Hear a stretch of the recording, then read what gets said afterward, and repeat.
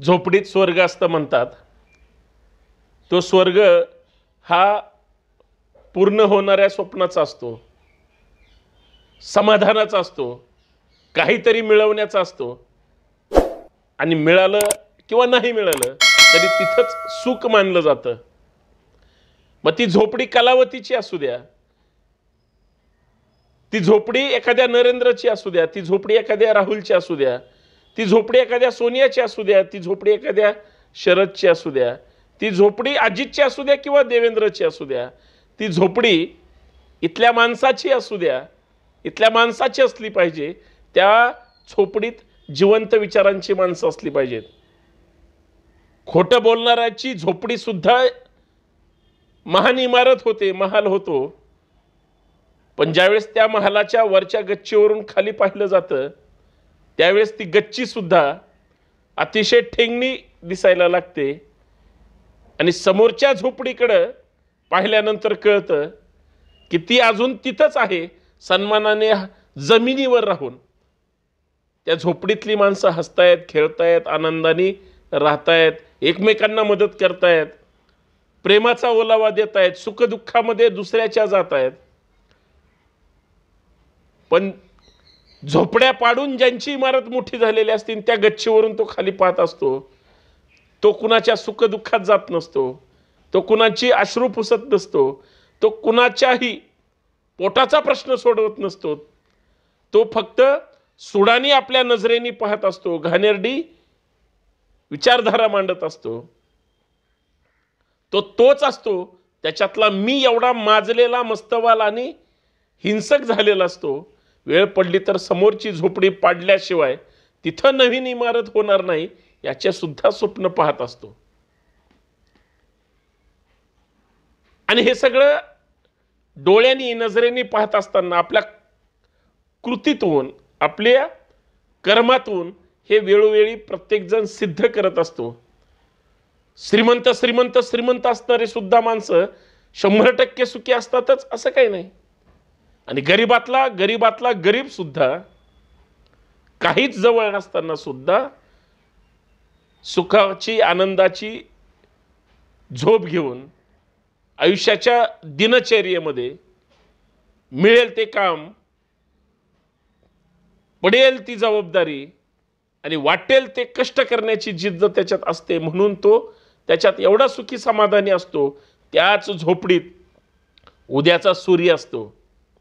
त्या झोपडीत उद्याच्या कर्तृत्वाची नशा असते आणि त्या झोपडीत ठासून प्रामाणिकपणा भरलेला असतो जो त्या समोरच्या महालात राजवाड्यात किंवा त्या लोकांमध्ये नसतो.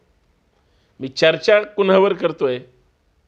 सन्माननीय राहुल गांधी काही वर्षापूर्वी या देशातली जी काही राजकीय सामाजिक परिस्थिती आहे आणि त्या परिस्थितीत सरकार जर भांडवलदारांचं झालं असेल सरकार साडेतीन टक्के लोकांचं झालं असेल या देशातल्या उद्योगपतींवर सरकार मेहरबान असेल सोयी सुविधा त्यांना दिल्या पाहिजेत मिळाल्या पाहिजेत याच्याबद्दल दुमत काहीच नाही. परंतु उद्योगपतीच जर सरकार चालवत असतील जे साडेतीन टक्क्यांचं असेल काय दोन अडीच तीन टक्के तर आहेतच म्हणजे त्याच्यातले दहा बारा लाख उद्योगपती या देशाचं भारताचं नागरिकत्व सोडून परदेशात स्थायिक झाले सला स्थलांतर केलं त्यांनी. आमच्या या देशाच्या किंवा राज्यांच्या राज्यकर्त्यांच्या धोरणांमुळं.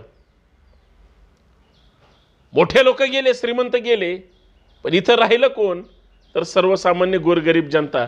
त्या एका झोपडीत जाऊन राहुल गांधी नावाच्या एका राजकीय पुढाऱ्यांनी त्या महिलेचे त्या स्त्रीचे सध्याच्या या महागाईत बेरोजगारीत आणि मग असंख्य संकटामध्ये तिचं जगणं शोधलं पाहिलं दुःख पाहिले आणि त्या झोपडीत गेले. तिथं राहिले चार घास खाल्ले चांगली भाषा बोलले. तिला जे हवं नको होतं त्यांच्या काय जवळच्या लोकांनी ते पूर्ण केले. अर्थात त्या नेत्यांनी पूर्ण केले असं समजायला हरकत नाही. आमचं आमच्या नेत्यांवर प्रेम राहिलं नाही. कारण आम्ही एवढे स्वार्थी झालो कधी आमचे विचार गुंडाळून टाकतो कधी आमचा नेत्याला गुंडाळून टाकतो कधी कार्यकर्त्यांना तर केवढ्याच आहे म्हणून विचारायला तयार नाही. त्या लोकांचं समाजकारण राजकारण नाही. परंतु ज्या कार्यकर्त्यांचं आपल्या नेत्यांवर प्रचंड प्रेम असतं कारण त्याच नेत्यांनी तुम्हाला वेळोवेळी संधी दिलेली असते. त्या संधीचं सोनं केल्यामुळं तुम्हाला आज जी प्रतिष्ठा किंमत मिळते ते त्या नेत्यामुळं. म्हणून वेळ पडली तर स्वतःशी गद्दारी करा. पण ज्यांनी आपल्याला मोठं केलं आहे त्याच्याशी कधीच गद्दारी करू नका. कदाचित हे त्या राहुल गांधी नावाच्या एका राजकीय पुढाऱ्याला आणि त्यांच्या कार्यकर्त्याला कळलं असं म्हणून त्या कलावतीला त्यांनी मदत केली. काळ उलटत गेला. नऊ वर्षाच्या सत्तेच्या काळामध्ये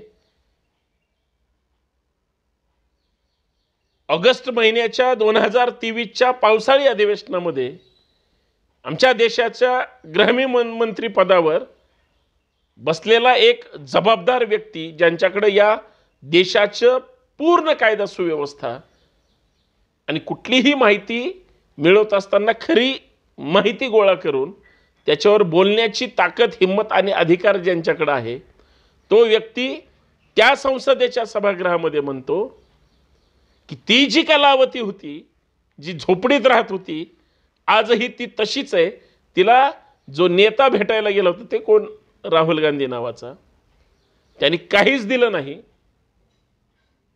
काहीच दिलं नाही म्हणून आजचे ते अमित शहा नावाचा कोण व्यक्ती आहे ते प्रचंड टीका करतात की नुसतं स्टंट करण्यासाठी दिशाभूल करण्यासाठी सरकारवर टीका करण्यासाठी सरकार निष्क्रिय सांगण्यासाठी एका वृद्ध महिलेचा एका कलावतीचा एका त्या लेडीजचा राजकारणासाठी वापर केला गेला. जो नेता तिच्या घरात जाऊन बसला चार घास खाल्ले तिच्या हातचं तिला दिलं काही नाही त्याची स्टंटबाजी केली. ती व्यक्ती ती स्त्री ती महिला ती माता भगिनी आजही उपेक्षिताचं आयुष्य जगते. असं सभागृहात ऑन रेकॉर्ड सांगितल्यानंतर ज्या कार्यकर्त्यांनी किंवा त्या नेत्यांनी मदत केली त्यांच्या लोकांनी किंवा माध्यमांनी सगळ्यात महत्त्वाचं माध्यम हा लोकशाहीचा चौथा स्तंभ असतो. अशी चर्चा केली जाते. तोच चौथ्या स्तंभातले प्रामाणिक पत्रकारांनी त्याच कलावतीच्या घरी गेले आणि ज्यावेळेस विचारलं आई ग की तुला त्या राहुल गांधी नावाच्या व्यक्तीनं घरात भेट घेऊन नंतर तुझं काही भलं झालं का? तुला काही दिलं का? तुझ्यासाठी हवं नको तो त्यावेळेस विचारलं का? परंतु आत्ता सरकारमध्ये एक केंद्रीय गृहमंत्री नावाच्या उच्च पदावर बसलेला माणूस शहासाहेब असं सांगतात की तुम्हाला आत्ताच्या माननीय मोदी साहेबांच्या सरकारमुळं सगळं मिळालं त्या घरात घरी आलेल्या त्या राहुल गांधीनं काहीच दिलं नव्हतं. त्यावेळेस ती कलावती म्हणाली शेवटी ती इथल्या महाराष्ट्राच्या भारताच्या मातीमध्येच जन्माला आलेली आहे आणि खरं बोलणारी तर शंभर टक्के आहे.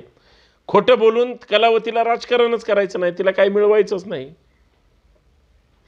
पण ज्यांना मिळवायचंय खोटं बोलून उज्ज्वला गॅस दिला किंवा पंतप्रधान आवास योजनेतून अजून काय अन्नधान्य मोफत असं योजनांचा आधार घेत उदाहरण दिलं होतं.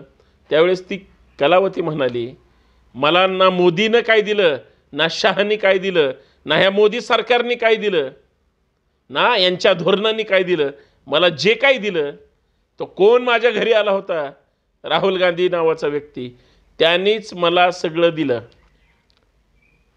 खरं तर ना तुम्ही त्या राहुल गांधीचे विचारांचे पक्षाचे किंवा त्याचे हितचिंतक आहात ना मी त्यांचा कार्यकर्ता नाही विचाराचा माणूस नाही किंवा त्यांच्या पक्षाचा तर नाहीच नाही. पण माणूस म्हणून जर त्या काम करणाऱ्या माणसाला जर कोण खोटं ठरवत असेल तर मग साहेब त्यांच्यासाठी तर आपण बोललंच पाहिजे. त्यांची लोक बोलण्याची हिंमत करतील न करतील कारण ईडीच्या दगडाखाली ह्या सगळ्यांच्या हात असल्यामुळं सगळी घाबरगुंडी झाली ह्या लोकांची. पण तो जो व्यक्ती आहे, तो भारत जोडण्याची भाषा करतो. आमचे सत्ताधारी भारत तोडण्याची आणि विभागण्याची भाषा करतात. मणिपूर सर सारखं राज्य तुमच्या डोळ्यासमोर आहे.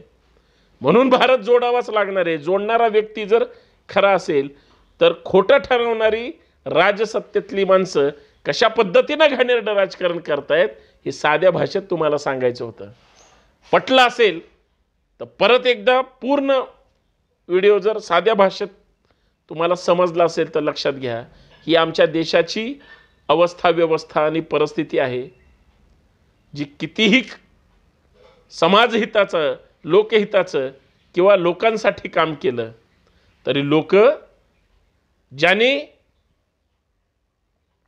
त्रिकोणावस्थेमध्ये म्हणजे इथं व्यक्ती एक आहे इथं एक व्यक्ती आहे आणि एक इकडे आहे इकडच्या माणसाने तिकडच्या माणसाला हातवारे केले तर त्याचा टच फ्लाईंग किजद्वारे जर इकडच्या माणसाकडे जात असेल ह्या तर हा असा त्रिकोण कसा साधता येईल?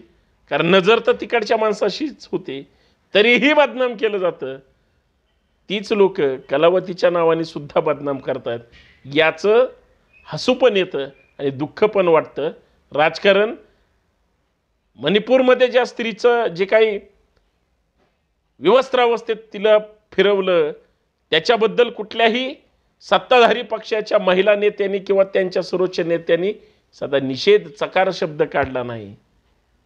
पण कुठला हातवाऱ्याचा प्रसंग कुठल्या मार्गाने कुठपर्यंत पोहोचवला हे सुद्धा कळायला मार्ग नाही. म्हणून कलावती तीच आहे जिथल्या मातीशी नाळ ठेवून मातीशी इमान राखून खरं बोलते.